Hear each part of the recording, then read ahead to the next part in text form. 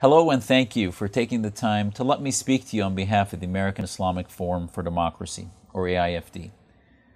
Much attention has been paid, and rightfully so, to the barbarity of the group ISIS, or ISIL, or simply IS, Islamic State. ISIS has declared itself the new caliphate led by its Sheikh Baghdadi, the Islamic State of what it feels to be ruled by their version of Islamic law, Sharia law. The Muslim communities across the world have, for the most part, condemned the actions and methods of ISIS outright. Gruesome images and accounts of mass murders, beheadings of AIDS workers, child sex slavery, and more have made it very easy for any human being, Muslim or non Muslim, to condemn this group. What is less common, however, and what is really needed, is Muslim condemnation of the group's stated aim the establishment of the Islamic State and not just IS, any Islamic State.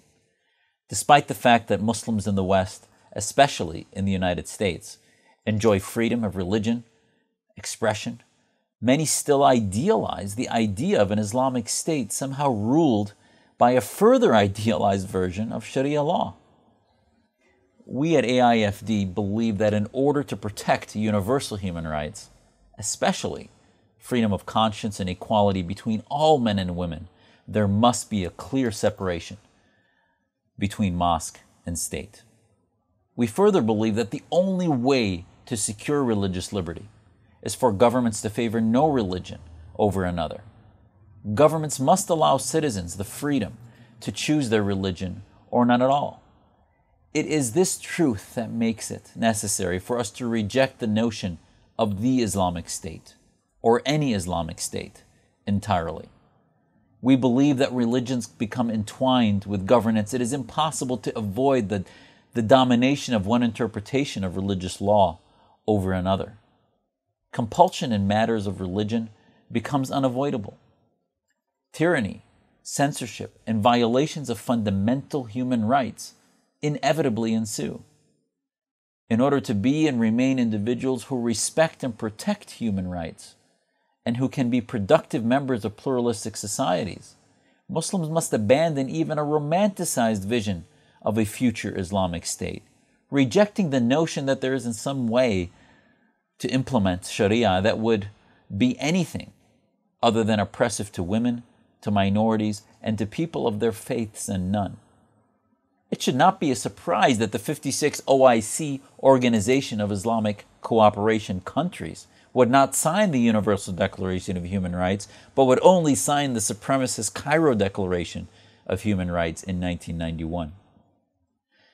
We must realize that even a theoretical fantasy of an ideal Islamic state holds us back, and that it absolutely holds back the most vulnerable amongst us. It's not a surprise or a coincidence that what the Islamic State is doing in Iraq and Syria is similar to the beheadings done by the Islamic State in Saudi Arabia, the Islamic Republic of Iran and its abuse of women and minorities, or the Islamic Republic of Pakistan, on and on. So instead of reminiscing about the notion of a golden age that was once was, or dreaming of an ideal that can never be, we must focus on and do the heavy lifting of reform within our faith tradition so that we can, in partnership with our non Muslim allies, protect, preserve, and advance universal human rights, and individual freedom for all through the separation of mosque and state. We must take sides within the House of Islam against the theocrats and against all those who believe in the Islamic State, because that is the only pathway to freedom and liberty.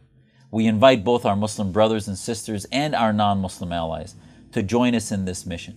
Please visit our website at aifdemocracy.org to learn more about our work and subscribe to our email list. And please connect with us on Facebook, Twitter, and YouTube.